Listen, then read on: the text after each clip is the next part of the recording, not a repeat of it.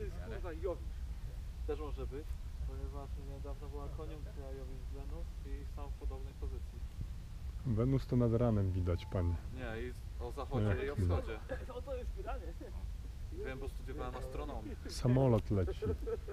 Samolot leci. Dojedzie Jowisz. Smyga kondensacyjna, tylko leci wprost na nas. Na astronautów. Widzisz, że się wydłuża w prawo w górę?